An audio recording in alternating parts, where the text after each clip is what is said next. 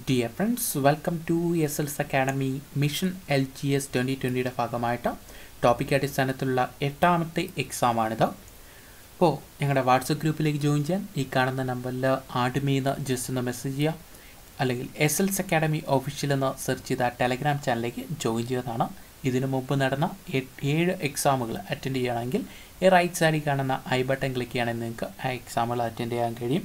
Play list ആയിട്ട് ലഭിക്കുകയും ചെയ്യും. ഓക്കെ അപ്പോൾ നമുക്ക് എട്ടാമത്തെ ടോപ്പിക് എക്സാമിൽ ഏതൊക്കെ ടോപ്പിക്കാണ് വരുന്നതെന്ന് ആദ്യം ഒന്ന് നോക്കാം. എട്ടാമത്തെ ടോപ്പിക് എക്സാമിൽ വരുന്ന ടോപ്പിക്കുകൾ കേന്ദ്ര ഭരണ പ്രദേശങ്ങൾ ഇന്ത്യയുടെ അയൽ രാജ്യങ്ങൾ സൗരയുധം ശതമാനം ലാഭവും നഷ്ടവും മാക്സ് ഭാഗത്തു നിന്ന് ശതമാനം ലാഭവും നഷ്ടവും എന്ന ഭാഗത്തു നിന്നുള്ള അൻപത് ചോദ്യങ്ങളാണ് ഇതിനകത്ത് ഉൾപ്പെടുത്തിയിരിക്കുന്നത്. ഓക്കെ അപ്പോൾ നമുക്ക് ടോപ്പിക് എക്സാമിലേക്ക് പോകുന്നതിന് മുമ്പ് ടോപ്പിക്ക് ഏഴിലെ രണ്ട് ചോദ്യങ്ങൾ നിങ്ങൾക്ക് കണ്ടെത്താൻ വേണ്ടി തന്നിരുന്നു. ആ ചോദ്യങ്ങളുടെ ഉത്തരങ്ങൾ നോക്കിയിട്ട് നമുക്ക് എക്സാമിലേക്ക് കിടക്കാം. ടോപ്പിക്ക് ഏഴിൽ തന്ന രണ്ട് ചോദ്യങ്ങൾ നിങ്ങൾക്ക് കണ്ടെത്താൻ വേണ്ടിയുള്ള ഒന്നാമത് ഒരാളുടെ വരുമാനം പത്ത് ശതമാനം വർദ്ധിപ്പിച്ചു. സ്ഥാപനത്തിന് മാന്ദ്യം വന്നപ്പോൾ പത്ത് ശതമാനം കുറച്ചുവെങ്കിൽ അയാളുടെ വരുമാനത്തിൽ എത്ര ശതമാനത്തിന്റെ കുറവുണ്ടാകും എന്നാണ് ചോദ്യം.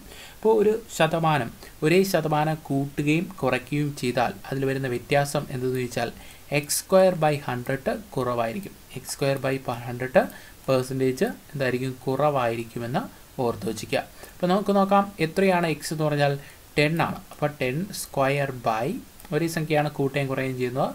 Ten square by hundred. Okay ten square by hundred കുറവായിരിക്കും. അപ്പോൾ ടെൻ സ്ക്വയർ എന്ന് പറഞ്ഞാൽ hundred. Hundred divide by hundred. Hundred divide by hundred എന്ന് പറഞ്ഞാൽ എത്രയാണ്? നൂറ് ഡിവൈഡ് ബൈ നൂറ്. എത്രയാണോ ഒന്ന്. ഓക്കെ ഒന്ന്. ഒന്നൊരു പെർസെന്റേജ് കുറവായിരിക്കും. ഓക്കെ ഏതാണ്? ഓപ്ഷൻ ഡി ആണ്. ഉത്തരം വൺ പേഴ്സന്റ് കുറവ്. അടുത്ത ചോദ്യം അൻപത്തി രണ്ടാമത്തെ ചോദ്യം ബ്രിട്ടീഷ് ഇന്ത്യയിലെ ബാബർ എന്നറിയപ്പെടുന്ന ആര് എന്നാണ് ചോദ്യം? ഓപ്ഷൻ ബി ആണ്. ഉത്തരം റോബർട്ട് ക്ലൈവ്. ഓർത്ത് വച്ചിരിക്കുക. ഏതാണ്? റോബർട്ട് ക്ലൈവ് ക്ലിയർ അപ്പോൾ നമുക്ക് നമുക്ക് ടോപ്പിക്ക് എട്ടാമത്തെ ടോപ്പിക് എക്സാമിലേക്ക് പോവാം. അപ്പോൾ എട്ടാമത്തെ ടോപ്പിക് എക്സാം ഓരോ ചോദ്യങ്ങൾ വായിക്കും. ജസ്റ്റ് ഒരു സെക്കൻഡ് ടൈം ഡിലേ തരും. അതായത് ഓപ്ഷന് വേണ്ടി ജസ്റ്റ് ടൈം ഡിലേ തരും. അടുത്ത ചോദ്യം പോവും. ലാസ്റ്റാണ് ഉത്തരം പറയുന്നത്. എല്ലാ ചോദ്യങ്ങളും കഴിഞ്ഞിട്ട് ലാസ്റ്റ് ഓരോ ചോദ്യങ്ങളും ഉത്തരങ്ങൾ. എക്സാം എഴുതുന്ന രീതിയിൽ തന്നെയാണ് എക്സാമായിട്ട് വരുന്നത്. ഓക്കെ അപ്പോൾ നമുക്ക് നോക്കാം. നിങ്ങൾ ഒരു കാര്യം ചെയ്യുക. പരമാവധി നിങ്ങളുടെ ഫ്രണ്ട്സിലെല്ലാം ഷെയർ ചെയ്യുക. ഇഷ്ടപ്പെട്ടാൽ മാത്രം ഷെയർ ചെയ്യുക. ഓക്കെ വീഡിയോ ഇഷ്ടപ്പെട്ടാൽ മാത്രം ഷെയർ ചെയ്യാൻ വേണ്ടി ശ്രമിക്കുക. അപ്പോൾ ആദ്യത്തെ ചോദ്യം ഇങ്ങനെയാണ്.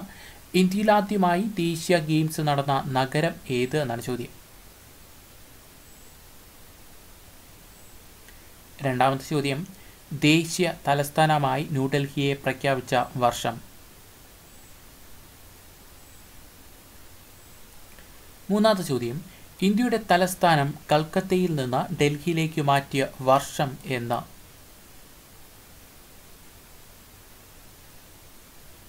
നാലാമത്തെ ചോദ്യം ഡൽഹി സ്ഥിതി ചെയ്യുന്ന നദീതീരം ഏത്? അഞ്ചാമത്തെ ചോദ്യം വിവര അവകാശ കമ്മീഷന്റെ ആസ്ഥാനം ഏത്?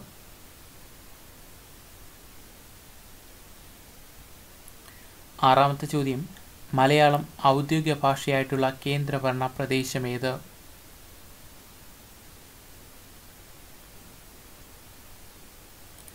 ഏഴാമത്തെ ചോദ്യം ഏറ്റവും ചെറിയ കേന്ദ്രഭരണ പ്രദേശം ഏത്? എട്ടാമത്തെ ചോദ്യം മാഹി ഏത് രാജ്യത്തിന്റെ കോളനിയായിരുന്നു? ഒൻപതാമത്തെ ചോദ്യം താഴെ പറയുന്നവയിൽ പോർച്ചുഗലിന്റെ അധികാര പരിധിയിൽ ഉണ്ടായിരുന്ന പ്രദേശം ഏത്?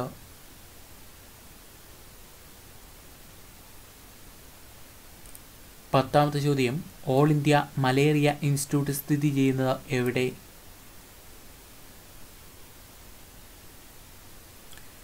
പതിനൊന്നാമത്തെ ചോദ്യം പിറ്റി പക്ഷി സങ്കേതം സ്ഥിതി ചെയ്യുന്നത് എവിടെ? പന്ത്രണ്ടാമത്തെ ചോദ്യം ലക്ഷദ്വീപിലെ ആകെ ദ്വീപുകളുടെ എണ്ണം എത്രയാണ്?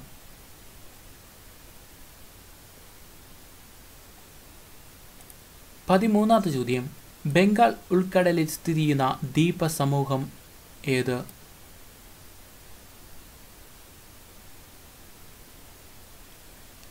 പതിനാലാമത്തെ ചോദ്യം ഇന്ത്യയിലെ ഏക അഗ്നിപർവതമായ ബാരൻ സ്ഥിതി ചെയ്യുന്നത് ദ്വീപ് ഏത്?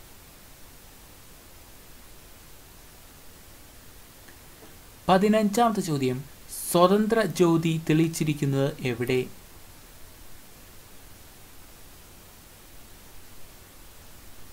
പതിനാറാമത്തെ ചോദ്യം. നദികളില്ലാത്ത ഇന്ത്യയുടെ കേന്ദ്രഭരണ പ്രദേശം ഏത്? പതിനേഴാമത്തെ ചോദ്യം. ലക്ഷദ്വീപിനെ തലസ്ഥാനം ലക്ഷദ്വീപ് ദ്വീപിന്റെ തലസ്ഥാനം ഏത്? പതിനെട്ടാമത്തെ ചോദ്യം. ഇന്ത്യയിലെ ഏക സജീവ അഗ്നിപർവതം ഏത്?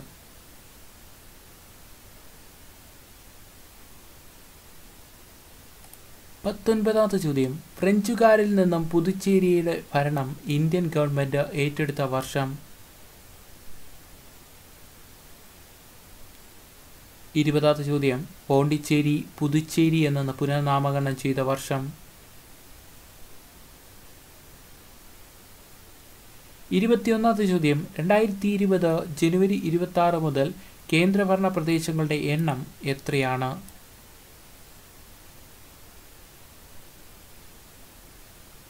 ഇരുപത്തി രണ്ടാമത്തെ ചോദ്യം.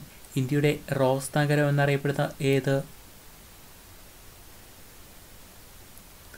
ഇരുപത്തി മൂന്നാമത്തെ ചോദ്യം. ദേശീയ സ്മാരകമായി സെല്ലുലാർ ജയിലിനെ പ്രഖ്യാപിച്ച പ്രധാനമന്ത്രി ആര്? ഇരുപത്തി നാലാമത്തെ ചോദ്യം. ജമ്മു കാശ്മീർ വിഭജന ബിൽ രാഷ്ട്രപതി ഒപ്പുവെച്ചത് എന്ന്?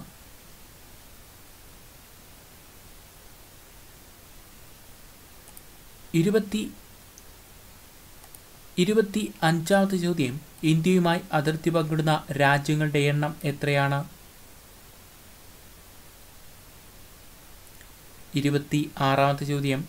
ഇന്ത്യയുടെ ഏറ്റവും കൂടുതൽ കര അതിർത്തി പങ്കിടുന്ന രാജ്യം ഇന്ത്യ ഏറ്റവും കൂടുതൽ കര അതിർത്തി പങ്കിടുന്ന രാജ്യം.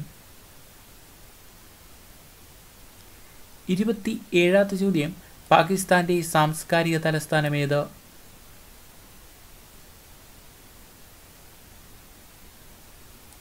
ഇരുപത്തി എട്ടാമത്തെ ചോദ്യം പാകിസ്ഥാന്റെ ഔദ്യോഗിക പുഷ്പമേത് ഇരുപത്തി ഒൻപതാമത്തെ ചോദ്യം ഇന്ത്യയുമായി അതിർത്തി പങ്കിടുന്ന ഏറ്റവും വലിയ രാജ്യം ഏത്?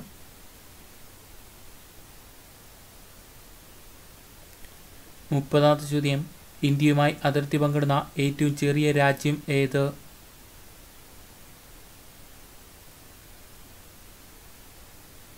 മുപ്പത്തി ഒന്നാമത്തെ ചോദ്യം. ചൈനീസ് വിപ്ലവം നടന്ന വർഷം എന്ന്. മുപ്പത്തി രണ്ടാമത്തെ ചോദ്യം. ഉപ്പിന് നികുതി ഏർപ്പെടുത്തിയ ലോകത്തിലെ ആദ്യ രാജ്യം.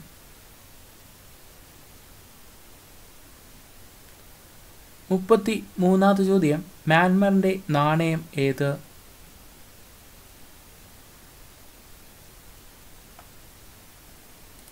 മുപ്പത്തി നാലാമത്തെ ചോദ്യം ബർമ എന്ന പേര് മ്യാൻമർ എന്ന് മാറ്റിയ വർഷം. മുപ്പത്തി അഞ്ചാമത്തെ ചോദ്യം ശ്രീലങ്കയുടെ പതാകയിൽ ആലാ ആലേഖനം ചെയ്തിരിക്കുന്ന മൃഗമേത്?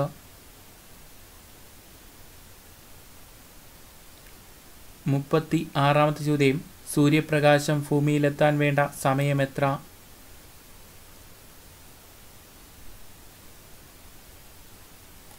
മുപ്പത്തി ഏഴാമത്തെ ചോദ്യം പരിക്രമണ വേഗത കൂടിയ ഗ്രഹമേത്?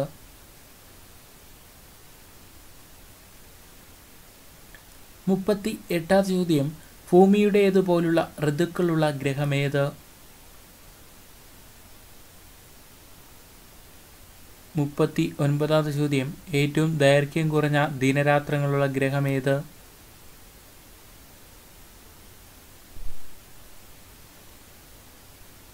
നാൽപ്പതാമത്തെ ചോദ്യം രാത്രിയിൽ ചന്ദ്രൻ കഴിഞ്ഞാൽ ഏറ്റവും തിളക്കമേറിയ ആകാശഗോളം? നാൽപ്പത്തി ഒന്നാമത്തെ ചോദ്യം. വലിയ വെളുത്ത പൊട്ട് കാണപ്പെടുന്ന ഗ്രഹമേത്? നാൽപ്പത്തി രണ്ടാമത്തെ ചോദ്യം. ഭ്രമണവേഗത ഏറ്റവും കുറഞ്ഞ ഗ്രഹമേത്?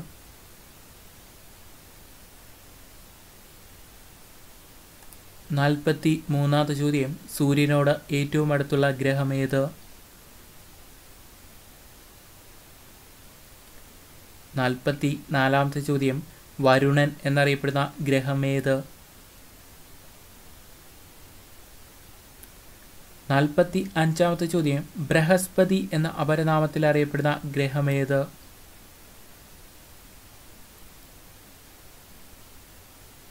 നാൽപ്പത്തി ആറാമത്തെ ചോദ്യം രണ്ട് സ്ഥാനാർത്ഥികൾ തമ്മിൽ മത്സരിച്ച ഒരു ഇലക്ഷനിൽ അഞ്ഞൂറ് വോട്ടുകൾ അസാധുവായിരുന്നു. വിജയിച്ച സ്ഥാനാർത്ഥി സാധുവായ വോട്ടിന്റെ അൻപത്തിയഞ്ച് ശതമാനം നേടി എഴുന്നൂറ് വോട്ടിന്റെ ഭൂരിപക്ഷത്തിൽ വിജയിച്ചു എങ്കിൽ ആകെ പോൾ ചെയ്ത വോട്ടുകൾ എത്ര?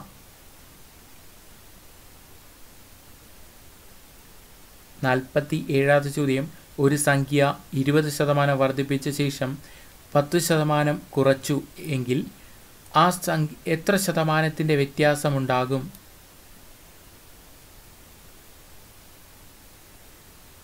നാൽപ്പത്തി എട്ടാമത്തെ ചോദ്യം. ഒരാൾ അയാളുടെ വരുമാനത്തിൽ നാൽപ്പത് ശതമാനം ഭാര്യയ്ക്കും മുപ്പത് ശതമാനം മക്കൾക്കും നൽകി. ബാക്കി അദ്ദേഹത്തിന്റെ കൈവശം മൂവായിരം രൂപ ഉണ്ടെങ്കിൽ അയാളുടെ കൈ വരുമാനം എത്ര?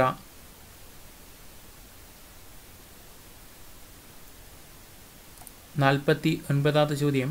ഇരുപതിനായിരം രൂപ വിലയുള്ള ഒരു സാധനം മുപ്പതിനായിരം രൂപയ്ക്ക് വിൽക്കുന്നു. എങ്കിൽ ലാഭശതമാനം എത്ര? അൻപതാമത്തെ ചോദ്യം. ഒരാൾ മുപ്പതിനായിരം രൂപ വിലയുള്ള ഒരു മേശ ഇരുപത്തിയേഴായിരം രൂപയ്ക്ക് വിറ്റാൽ നഷ്ടശതമാനം എത്ര? അൻപത്തി ഒന്നാമത്തെ ചോദ്യം നിങ്ങൾക്ക് കണ്ടെത്താനുള്ള ചോദ്യമാണ്. ഒരു ഗോളത്തിന്റെ വ്യാസം ഇരട്ടിച്ചാൽ വ്യാപ്തം എത്ര മടങ്ങാകും? അടുത്ത അൻപത്തിരണ്ടാമത്തെ ചോദ്യം നിങ്ങൾക്ക് കണ്ടെത്താനുള്ളത്. കേരളത്തിൽ ഏറ്റവും കുറവ് മഴ ലഭിക്കുന്ന താലൂക്ക് ഏത് ജില്ലയിലാണ്? അടുത്ത ഒൻപതാമത്തെ ടോപ്പിക്കിൽ ഏതൊക്കെ ടോപ്പിക്കാണ് വരുന്നത് നോക്കാം. ഇന്ത്യൻ ഭരണഘടന സൗരയുധവുമായി ബന്ധപ്പെട്ട ബാക്കി ചോദ്യങ്ങൾ ലാഭവും നഷ്ടവും മാത്സിന്റെ ഭാഗത്ത് ലാഭവും നഷ്ടവും എന്ന ഭാഗത്തുനിന്നുള്ള ചോദ്യങ്ങൾ. അപ്പോൾ ഇത്രയും ഒൻപതാമത്തെ ടോപ്പിക്കിൽ ഈ മൂന്ന് ടോപ്പിക്കിൽ നിന്നുള്ള അൻപത് ചോദ്യങ്ങളായിരിക്കും ഉണ്ടാവുക. ഓക്കെ അപ്പോൾ ഇനി നിങ്ങൾ എഴുതി വെച്ചിരിക്കുന്ന ആൻസർ നമുക്ക് ഓരോന്നായിട്ട് നോക്കാം. എത്ര മാർക്ക് ലഭിക്കുന്നു എന്ന് കമന്റ് ചെയ്യുക. പരമാവധി നിങ്ങളുടെ ഫ്രണ്ട്സിനും കൂടി ഷെയർ ചെയ്യാൻ വേണ്ടി ശ്രമിക്കുക. ഇഷ്ടപ്പെടുകയാണെങ്കിൽ ക്ലാസ്സുകൾ ഇഷ്ടപ്പെടുകയാണെങ്കിൽ ലൈക്കും കൂടെ ചെയ്യാൻ വേണ്ടി ശ്രമിക്കുക. ഓക്കെ ഒന്നാമത്തെ ചോദ്യം ഇന്ത്യയിൽ ആദ്യമായി ദേശീയ ഗെയിംസ് നടന്ന നഗരം ഏത് എന്നാണ് ചോദ്യം? ഓപ്ഷൻ ഡി ആണ് ഉത്തരം ഡൽഹി. അടുത്ത രണ്ടാമത്തെ ചോദ്യം ദേശീയ തലസ്ഥാനമായി ന്യൂഡൽഹിയെ പ്രഖ്യാപിച്ച വർഷം എന്ന് എന്നാണ് ചോദ്യം. ഓപ്ഷൻ ബി ആണ് ഉത്തരം. ആയിരത്തി തൊള്ളായിരത്തി തൊണ്ണൂറ്റി രണ്ട് അടുത്ത മൂന്നാമത്തെ ചോദ്യം. ഇന്ത്യയുടെ തലസ്ഥാനം കൽക്കട്ടയിൽ നിന്ന് ഡൽഹിയിലേക്ക് മാറ്റിയ വർഷം എന്ന് എന്നാണ് ചോദ്യം. ഓപ്ഷൻ ബി ആണ് ഉത്തരം. ആയിരത്തി തൊള്ളായിരത്തി പതിനൊന്ന് നാലാമത്തെ ചോദ്യം. ഡൽഹി സ്ഥിതി ചെയ്യുന്ന നദീതീരം ഏത് എന്നാണ് ചോദ്യം. ഓപ്ഷൻ സി ആണ് ഉത്തരം. യമുന. അടുത്ത അഞ്ചാമത്തെ ചോദ്യം. വിവര അവകാശ കമ്മീഷന്റെ ആസ്ഥാനം ഏത് എന്നാണ് ചോദ്യം? ഏതാണ് ഓപ്ഷൻ ബി ആണ് ഉത്തരം. അഗസ്റ്റ് ക്രാന്തി ഭവൻ. ന്യൂഡൽഹിയാണ് അഗസ്റ്റ് ക്രാന്തി ഭവൻ. അടുത്ത ആറാമത്തെ ചോദ്യം. മലയാളം ഔദ്യോഗിക ഭാഷയായിട്ടുള്ള കേന്ദ്രഭരണ പ്രദേശം ഏത് എന്നാണ് ചോദ്യം. ഓപ്ഷൻ എ ആണ് ഉത്തരം. ലക്ഷദ്വീപ്. ഏഴാമത്തെ ചോദ്യം. ഏറ്റവും ചെറിയ കേന്ദ്രഭരണ പ്രദേശം ഏത് എന്നാണ് ചോദ്യം. ഓപ്ഷൻ എ ആണ് ഉത്തരം. ലക്ഷദ്വീപ്. അടുത്ത എട്ടാമത്തെ ചോദ്യം. മാഹി ഏത് രാജ്യത്തിന്റെ കോളനി ആയിരുന്നു എന്നാണ് ചോദ്യം. ഓപ്ഷൻ ഡി ആണ് ഉത്തരം. ഫ്രാൻസ്. ഫ്രാൻസിന്റെ കോളനി ആയിരുന്നു മാഹി. അടുത്ത ഒൻപതാമത്തെ ചോദ്യം. താഴെ പറയുന്നതിൽ പോർച്ചുഗലിന്റെ അധികാര പരിധിയിലുണ്ടായിരുന്ന പ്രദേശം ഏത് എന്നാണ് ചോദ്യം.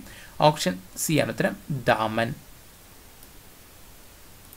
പത്താമത്തെ ചോദ്യം. ഓൾ ഇന്ത്യ മലേറിയ ഇൻസ്റ്റിറ്റ്യൂട്ട് സ്ഥിതി ചെയ്യുന്നത് എവിടെ എന്നാണ് ചോദ്യം. ഓപ്ഷൻ സി ആണ് ഉത്തരം. ഡൽഹിയിലാണ് ഓൾ ഇന്ത്യ മലേറിയ ഇൻസ്റ്റിറ്റ്യൂട്ട് സ്ഥിതി ചെയ്യുന്നത്. അടുത്ത പതിനൊന്നാമത്തെ ചോദ്യം. പിറ്റി പക്ഷി സങ്കേതം സ്ഥിതി ചെയ്യുന്ന എവിടെ എന്നാണ് ചോദ്യം. ഓപ്ഷൻ ഡി ആണ് ഉത്തരം. ലക്ഷദ്വീപിലാണ് പിറ്റി പക്ഷി സങ്കേതം സ്ഥിതി ചെയ്യുന്നത്. പന്ത്രണ്ടാം ചോദ്യം. ലക്ഷദ്വീപിലെ ആകെ ദ്വീപുകളുടെ എണ്ണം എത്ര എന്നാണ് ചോദ്യം. എത്രയാണ്? ഓപ്ഷൻ ബി ആണ് ഉത്തരം. മുപ്പത്തിയാറ് ദ്വീപുകൾ. പതിമൂന്നാമത്തെ ചോദ്യം. ബംഗാൾ ഉൾക്കടലിൽ സ്ഥിതി ചെയ്യുന്ന ദ്വീപ സമൂഹം ആണ് ഡാഷ് എന്നാണ് ചോദ്യം. ബംഗാൾ ഉൾക്കടലിൽ സ്ഥിതി ചെയ്ത ദ്വീപ സമൂഹം ഏതാണ്? ഓപ്ഷൻ ബി ആണ്. ഉത്തരം ആന്റമാൻ നിക്കോബാർ. അടുത്ത പതിനാലാമത്തെ ചോദ്യം. ഇന്ത്യയിലെ ഏക അഗ്നിപർവതമായ ബാരൻ സ്ഥിതി ചെയ്യുന്ന ദ്വീപ് ഏത് എന്ന ചോദ്യം. ഓപ്ഷൻ എ ആണ് നാർക്കൊണ്ടം. ഓർത്ത് വയ്ക്കുക നാർക്കൊണ്ടം. അടുത്ത പതിനഞ്ചാമത്തെ ചോദ്യം. സ്വതന്ത്ര ജ്യോതി തെളിയിച്ചിരിക്കുന്നത് എവിടെ എന്നാണ് ചോദ്യം. ഓപ്ഷൻ എ ആണ്. ഉത്തരം സെല്ലുലാർ ജയിൽ. ഇതോടെ സെല്ലുലാർ ജയിൽ. Option A. പതിനാറാമത്തെ ചോദ്യം. നദികളില്ലാത്ത ഇന്ത്യയുടെ കേന്ദ്രഭരണ പ്രദേശം ഏത് എന്നാണ് ചോദ്യം. ഓപ്ഷൻ ബി ആണ് ഉത്തരം ലക്ഷദ്വീപ്. അടുത്ത പതിനേഴാമത്തെ ചോദ്യം. ലക്ഷദ്വീപിന്റെ തലസ്ഥാനം ഏത് എന്നാണ് ചോദ്യം. ലക്ഷദ്വീപിന്റെ തലസ്ഥാനം ഏതെന്ന് ചോദിച്ചാൽ കവരത്തി. ഓപ്ഷൻ എ ആണ് ഉത്തരം. പതിനെട്ടാമത്തെ ചോദ്യം. ഇന്ത്യയിലെ ഏക സജീവ അഗ്നിപർവതം ഏത് എന്നാണ് ചോദ്യം. ഓപ്ഷൻ സി ആണ് ഉത്തരം ബാരൻ.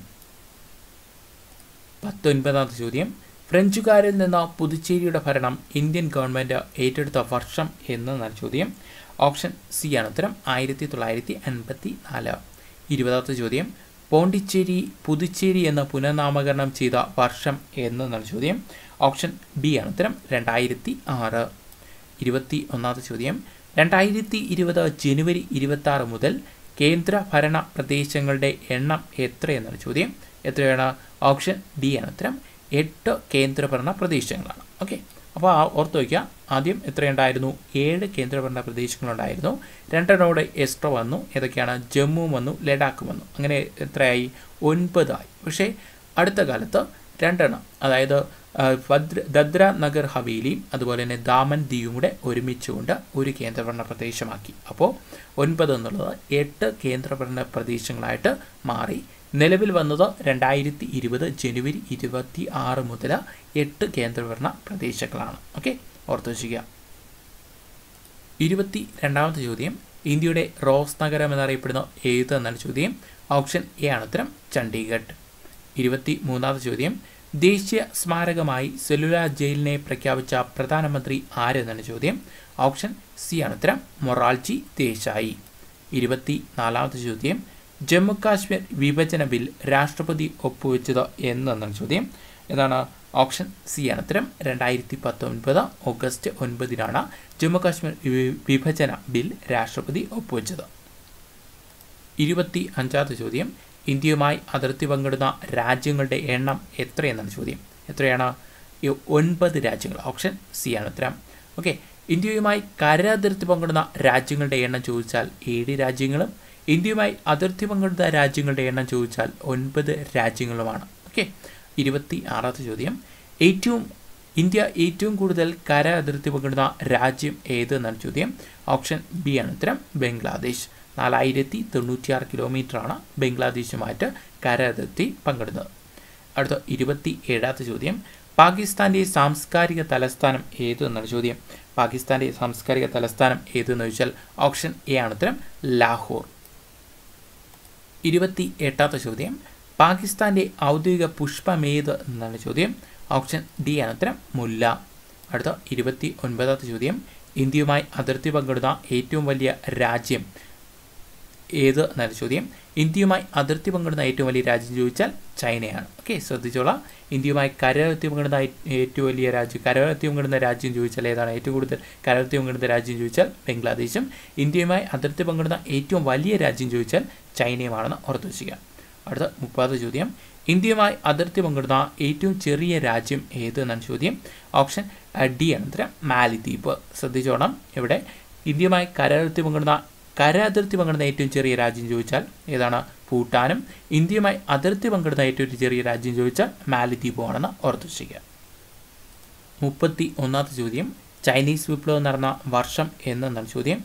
ഓപ്ഷൻ ബി ആണ് ഉത്തരം. ആയിരത്തി തൊള്ളായിരത്തി പതിനൊന്ന് മുപ്പത്തി രണ്ടാമത്തെ ചോദ്യം. ഉപ്പിന് നികുതി ഏർപ്പെടുത്തിയ ലോകത്തിലെ ആദ്യ രാജ്യം ഏത് എന്നാണ് ചോദ്യം. ഓപ്ഷൻ ഡി ആണ് ഉത്തരം. ചൈന. അടുത്ത മുപ്പത്തി മൂന്നാമത്തെ ചോദ്യം. മ്യാൻമറിലെ നാണയം ഏത് എന്നാണ് ചോദ്യം. മ്യാൻമറിന്റെ നാണയം ഏത് എന്നാണ് ചോദ്യം. ഏതാണ്? ഓപ്ഷൻ സി ആണ്. ഉത്തരം ക്യാറ്റ്. ക്യാറ്റാണ് മ്യാൻമറിന്റെ നാണയം. മുപ്പത്തി നാലാമത്തെ ചോദ്യം. ബർമ എന്ന പേര് മ്യാൻമർ എന്ന് മാറ്റിയ വർഷം എന്നാണ് ചോദ്യം. ഓപ്ഷൻ എ ആണ്. ഉത്തരം ആയിരത്തി തൊള്ളായിരത്തി എൺപത്തി ഒൻപത് അടുത്ത മുപ്പത്തി അഞ്ചാമത്തെ ചോദ്യം. ശ്രീലങ്കയുടെ പതാകയിൽ ആലേഖനം ചെയ്തിരിക്കുന്ന മൃഗം ഏത് എന്ന ചോദ്യം? ഓപ്ഷൻ സി ആണ് ഉത്തരം സിംഹം.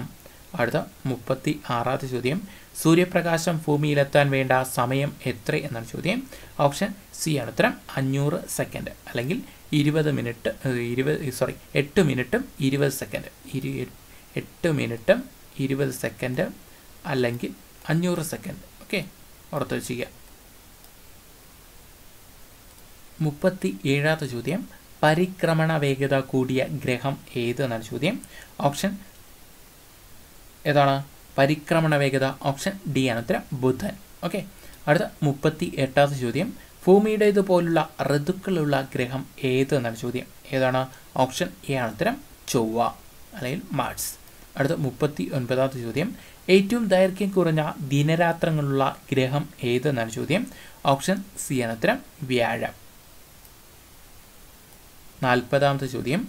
രാത്രിയിൽ ചന്ദ്രൻ കഴിഞ്ഞാൽ ഏറ്റവും തിളക്കമേറിയ ആകാശഗോളം ഏത് എന്നാണ് ചോദ്യം. ഓപ്ഷൻ ബി ആണ് ഉത്തരം ശുക്രൻ. നാൽപ്പത്തി ഒന്നാമത്തെ ചോദ്യം. വലിയ വെളുത്ത പൊട്ട് കാണപ്പെടുന്ന ഗ്രഹം ഏത് എന്നാണ് ചോദ്യം. വലിയ വെളുത്ത പൊട്ട് കാണപ്പെടുന്ന ഏതിലാണ്? ഓപ്ഷൻ എ ആണ് ഉത്തരം ശനി. അടുത്ത നാൽപ്പത്തി രണ്ടാമത്തെ ചോദ്യം. ഭ്രമണ വേഗത ഏറ്റവും കുറഞ്ഞ ഗ്രഹം ഏത് എന്നാണ് ചോദ്യം. ഓപ്ഷൻ ബി ആണ് ഉത്തരം ശുക്രൻ. നാൽപ്പത്തി മൂന്നാമത്തെ ചോദ്യം. സൂര്യനോട് ഏറ്റവും അടുത്തുള്ള ഗ്രഹം ഏത് എന്നാണ് ചോദ്യം. ഓപ്ഷൻ ബി ആണ് ഉത്തരം ബുധൻ. അടുത്ത നാൽപ്പത്തി നാലാമത്തെ ചോദ്യം. വരുണൻ എന്നറിയപ്പെടുന്ന ഗ്രഹം ഏത് എന്നാണ് ചോദ്യം. ഏതാണ്? ഓപ്ഷൻ ഡി ആണ് ഉത്തരം. നെപ്റ്റ്യൂൺ ആണ് വരുണൻ എന്നറിയപ്പെടുന്നത് നാൽപ്പത്തി അഞ്ചാമത്തെ ചോദ്യം. ബൃഹസ്പതി എന്ന അപരനാമത്തിൽ അറിയപ്പെടുന്ന ഗ്രഹം ഏത് എന്നാണ് ചോദ്യം. ഏതാണ്? ഓപ്ഷൻ സി ആണ് ഉത്തരം വ്യാഴം. നാൽപ്പത്തി ആറാമത്തെ ചോദ്യം. രണ്ട് സ്ഥാനാർത്ഥികൾ തമ്മിൽ മത്സരിച്ച ഒരു ഇലക്ഷനിൽ അഞ്ഞൂറ് വോട്ടുകൾ അസാധുവായിരുന്നു. വിജയിച്ച സ്ഥാനാർത്ഥിക്ക് സാധുവായ വോട്ടിന്റെ അൻപത്തഞ്ച് ശതമാനം നേടി. എഴുന്നൂറ് വോട്ടിന്റെ ഭൂരിപക്ഷത്തിൽ വിജയിച്ചു എങ്കിൽ ആകെ പോൾ ചെയ്ത വോട്ടുകൾ എത്ര എന്നാണ് ചോദ്യം. അപ്പോൾ ഇവിടെ ശ്രദ്ധിക്കേണ്ടത് ഇപ്പോൾ നമുക്ക് എന്തൊക്കെ തന്നിട്ടുണ്ട്? ഒരു ഇലക്ഷൻ അസാധുവായ വോട്ട് തന്നിട്ടുണ്ട്. പിന്നെ എന്ത് തന്നിട്ടുണ്ട്? സാധുവായ വോട്ടിന്റെ അൻപത്തിയഞ്ച് ശതമാനം നേടിയാണ് ആര് ജയിച്ചത്? എഴുന്നൂ എഴുന്നൂറ് വോട്ടിന്റെ ഭൂരിപക്ഷം. ഓക്കെ. അപ്പോൾ നമുക്ക് നോക്കാം. ഇപ്പോൾ വിജയിച്ച സ്ഥാനാർത്ഥിക്ക് ലഭിച്ച വോട്ട് എത്രയാണ്? അൻപത്തി അഞ്ച് ശതമാനം. വിജയിച്ച സ്ഥാനാർത്ഥിക്ക് ലഭിച്ച വോട്ട് ചോദിച്ചാൽ എത്രയാണ്? അൻപത്തിയഞ്ച് ശതമാനം. വോട്ട് നേടിയാണ് പുള്ളിക്കാരൻ ജയിച്ചതെന്ന് പറഞ്ഞു. ഓക്കെ. അപ്പോൾ പരാജയപ്പെട്ട സ്ഥാനാർത്ഥിക്ക് എത്ര വോട്ടായിരിക്കും? എത്രയാണ്? നൂറ് ആകെ എത്രയാണ്? നൂറ് ശതമാനമാണ്. അതിലെത്ര എത്രയാണ്? നാൽപ്പത്തി അഞ്ച് ശതമാനം. ഓക്കെ. നാൽപ്പത്തി അഞ്ച് ശതമാനമാണ് ഏത്?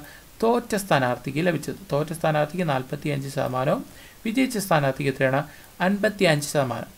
അപ്പോൾ ഇതിൽ തമ്മിലുള്ള വ്യത്യാസം എടുക്കുക അപ്പോൾ വ്യത്യാസം എടുക്കുമ്പോൾ എന്ത് കിട്ടും? അൻപത്തി അഞ്ച് മൈനസ് നാൽപ്പത്തി അഞ്ച് അൻപത്തി അഞ്ച് മൈനസ് നാൽപ്പത്തി അഞ്ച് എത്ര കിട്ടും? പത്ത് ശതമാനം കിട്ടും. ഓക്കെ? ഈ പത്ത് ശതമാനമാണ് എന്ത്? ഭൂരിപക്ഷം എന്ന് പറയുന്നത്. ഓക്കെ? ഈ പത്ത് ശതമാനമാണ് ഭൂരിപക്ഷം എന്ന് പറയുന്നത്. ഈ പത്ത് ശതമാനമാണ് ഇവിടുത്തെ എഴുന്നൂറ് വോട്ട് എന്ന് പറയുന്നത്. പത്ത് ശതമാനമാണ് ഇവിടുത്തെ എഴുന്നൂറ് വോട്ട് എന്ന് പറയുന്നത്. ക്ലിയർ? പുറത്തു വയ്ക്കുക അപ്പം സാധുവായ വോട്ടുകളുടെ എണ്ണം നോക്കാൻ എന്ത് ചെയ്യണം? സാധുക്കളുടെ വോട്ട് സാധുവായ വോട്ട് എഴുന്നൂറ് ഡിവൈഡഡ് ബൈ എഴുന്നൂറ് ഡിവൈഡഡ് ബൈ പത്ത് ഇന്റു നൂറ് ചെയ്താൽ മതി. അപ്പോൾ എന്ത് കിട്ടും? സാധുവായ വോട്ട് കിട്ടും. സാധുവായ വോട്ട് കിട്ടുമ്പോൾ എങ്ങനെയാണ്? ഈ പൂജ്യം പോയി ഈ പൂജ്യം പോയി. എത്രയാണ്? ഏഴായിരം. ഓക്കെ സാധുവായ വോട്ട് എത്രയാണ്? എത്രയാണ്? ഏഴായിരം. ക്ലിയർ ആണോ? ഈ ആൻസർ കണ്ട ഉടനെ തന്നെ ഓപ്ഷൻ എ എഴുതി വെക്കരുത്. ക്ലിയർ ഇവിടെ ശ്രദ്ധിക്കേണ്ടത് അസ് ഈ ഒരു ഇലക്ഷനിൽ അഞ്ഞൂറ് വോട്ടുകൾ അസാധുവായിരുന്നു. പിന്നെ പറയുന്നുണ്ട് വിജയിച്ചു എത്ര എഴുന്നൂറ് വോട്ടിന് വിജയി ഭൂരിപക്ഷത്തിൽ വിജയിച്ചു എങ്കിൽ ആകെ പോൾ ചെയ്ത വോട്ടുകൾ എത്ര എന്നാണ് ചോദിച്ചിരിക്കുന്നത്. ശ്രദ്ധിച്ചോണം ക്ലിയർ നമുക്ക് ഇവിടെ എന്താണ് കിട്ടിയത് ഇപ്പോൾ നിലവിൽ സാധുവായ വോട്ടാണ് കിട്ടിയത്. ഓക്കെ? പിന്നെ എന്തുകൂടെ ആഡ് ചെയ്യണം? എഴുന്നൂറിന്റെ കൂടെ എഴു സോറി എഴുന്നൂറല്ല ഏഴായിരത്തിന്റെ കൂടെ. എത്രയാണ് അസാധുവായ വോട്ടും കൂടി ആഡ് ചെയ്യണം. അസാധുവായിട്ട് ഇത്രയാണ് അഞ്ഞൂറ് വോട്ടാണ്. അപ്പോൾ എത്രയെന്ന് കിട്ടും? ഏഴായിരത്തി അഞ്ഞൂറാണ് ആകെ പോൾ ചെയ്ത വോട്ട്. ഏഴായിരത്തി അഞ്ഞൂറാണ് ആകെ പോൾ ചെയ്ത വോട്ട്. ഓപ്ഷൻ ഡി ആണ് ഉത്തരം. ക്ലിയർ സിമ്പിൾ ചോദ്യമാണ്. ശ്രദ്ധിച്ചാൽ അടുത്ത നാൽപ്പത്തി ഏഴാമത്തെ ചോദ്യം ഇങ്ങനെയാണ്. ഒരു സംഖ്യ ഇരുപത് ശതമാനം വർദ്ധിപ്പിച്ച ശേഷം പത്ത് ശതമാനം കുറച്ചു. എങ്കിൽ ആ സംഖ്യയിൽ എത്ര ശതമാനത്തിന്റെ വ്യത്യാസമുണ്ടാകും എന്നാണ് ചോദ്യം. അപ്പോൾ നമ്മൾ നേരത്തെ ഒരു ചോദ്യം ചെയ്തത് അല്ലെങ്കിൽ കഴിഞ്ഞ എക്സാമിന് നമ്മളൊരു ചെയ്ത് ചോദ്യം ചെയ്ത എന്ന് നമ്മൾ പറഞ്ഞ ചോദ്യത്തിൽ എന്താണ് ഒരേ ശതമാനം കൂട്ടുകയും ഒരേ ശതമാനം കുറയ്ക്കുകയും ചെയ്താൽ നമുക്ക് എന്ത് ചെയ്യാം? എക്സ് സ്ക്വയർ ബൈ ഹൺഡ്രഡ് വെച്ച് ചെയ്യാമെന്ന് പറഞ്ഞു. ഇപ്പോൾ ഇവിടെ ശ്രദ്ധിക്കേണ്ടത് നമുക്ക് രണ്ട് രീതിയിൽ ചെയ്യാം. അപ്പോൾ ആദ്യമായിട്ട് നമുക്ക് ഇക്വേഷൻ കൊടുത്ത് എന്ത് ചെയ്യാം? അപ്പോൾ ഇതിന്റെ വ്യത്യാസം ശ്രദ്ധിച്ചുള്ള A minus B minus A B by hundred okay A B by hundred രണ്ട് ഒരു വ്യത്യസ്ത അതായത് രണ്ട് വ്യത്യസ്ത ഇതാണോ ശതമാനമാണ് വരുന്നതെങ്കിൽ ചെയ്യാനുള്ളതാണ്. അപ്പോൾ ശ്രദ്ധിക്കുക. ഇരുപത് മൈനസ് ബി എന്ന് പറഞ്ഞാൽ പത്ത് മൈനസ് ഇരുപത് ഇന്റു പത്ത് ഡിവൈഡഡ് ബൈ പത്ത് ഡിവൈഡ് ബൈ നൂറ്. ഓക്കെ? ചെയ്ത് നോക്കാം. ഇരുപത് മൈനസ് പത്ത് എന്ന് പറയുന്നത് എത്രയാണ്? പത്ത്. പത്ത് മൈനസ് ഇരുപത് ഇന്റു പത്ത് എന്ന് പറയുന്നത് ഇരുന്നൂറ്. ഇരുന്നൂറ് ഡിവൈഡ് ബൈ ഇരുന്നൂറ് ഡിവൈഡ് ബൈ നൂറ് എന്ന് കിട്ടും. ഓക്കെ? അപ്പോൾ ഈ പൂജ്യം ഈ രണ്ട് പൂജ്യം പോയി ഈ രണ്ട് പൂജ്യം. അപ്പോൾ പത്ത് ഡി പത്ത് മൈനസ് രണ്ടെന്ന് പറയുന്നത് എത്രയാണെന്ന് കിട്ടും? എട്ട് ശതമാനം എന്ന് കിട്ടും. ഓക്കെ? ഇത് ഒരു മെത്തേഡ്. ക്ലിയർ? രണ്ടാമത്തെ മെത്തേഡ്.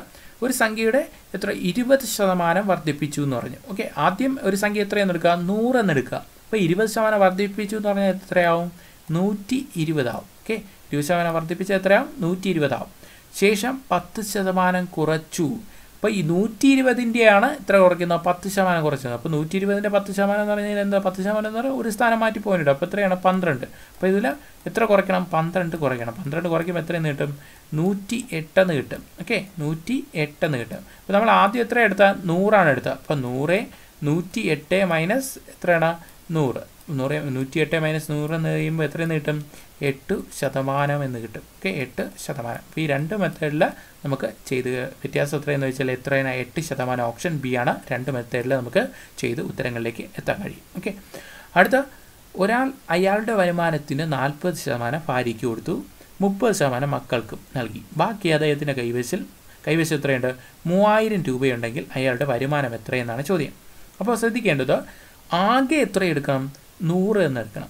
ഓക്കെ ഇതൊരു ലോജിക്കിന്റെ പുറത്ത് ചെയ്യുന്നതാണ് ആകെ എത്രയും നൽകാം നൂറ് ശതമാനം നൽകാം ഇപ്പോൾ ഭാര്യയ്ക്ക് എത്ര കൊടുത്തു? നാൽപ്പത് കൊടുത്തു. മക്കൾക്ക് എത്ര കൊടുത്തു? മുപ്പതും കൊടുത്തു. അപ്പോൾ നാലും മൂന്നും ഏഴ്. എഴുപത് ശതമാനം മൊത്തം അയാൾ ചിലവാക്കി. ഇനി എത്രയുണ്ട്? ബാക്കി അയാൾ എത്രയുണ്ട്? മുപ്പത് ശതമാനമുണ്ട്. എത്രയുണ്ട്? മുപ്പത് ശതമാനം. ബാക്കി എത്രയുണ്ട്? മുപ്പത് ശതമാനം. ശ്രദ്ധിക്കുക. ഏതോ ഒരു സംഖ്യയുടെ ഏതോ ഒരു സംഖ്യയുടെ എത്രയാണ്? മുപ്പത് ശതമാനമാണ്. ഏതോ ഒരു സംഖ്യയുടെ മുപ്പത് ശതമാനമാണ് എത്രയെന്ന് പറയുന്നത്? ശ്രദ്ധിച്ചോളൂ. ഏത്? മൂവായിരം എന്ന് പറയുന്നു. മൂവായിരം എന്ന് പറയുന്നത് ഓക്കെ ഏതോ ഒരു സംഖ്യയുടെ മുപ്പത് ശതമാനമാണ് മൂവായിരം. അപ്പോൾ സംഖ്യ കാണാൻ എന്ത് ചെയ്യണം?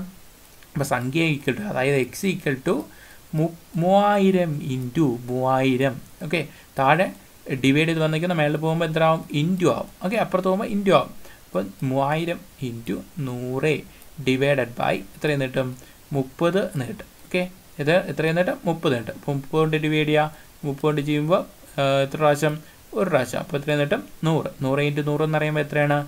പതിനായിരം എന്ന് കിട്ടും. ഓക്കെ എത്രയാണ്? പതിനായിരം എന്ന് അപ്പോൾ പുള്ളിക്കാരന്റെ അയാളുടെ വരുമാനം എത്രയെന്ന് ചോദിച്ചാൽ ഏതാണ്? ഓപ്ഷൻ എ ആണ്. ഉത്തരം പതിനായിരം എന്ന ഉത്തരത്തിലേക്ക് കിട്ടും. സിമ്പിൾ ചോദ്യമാണ്.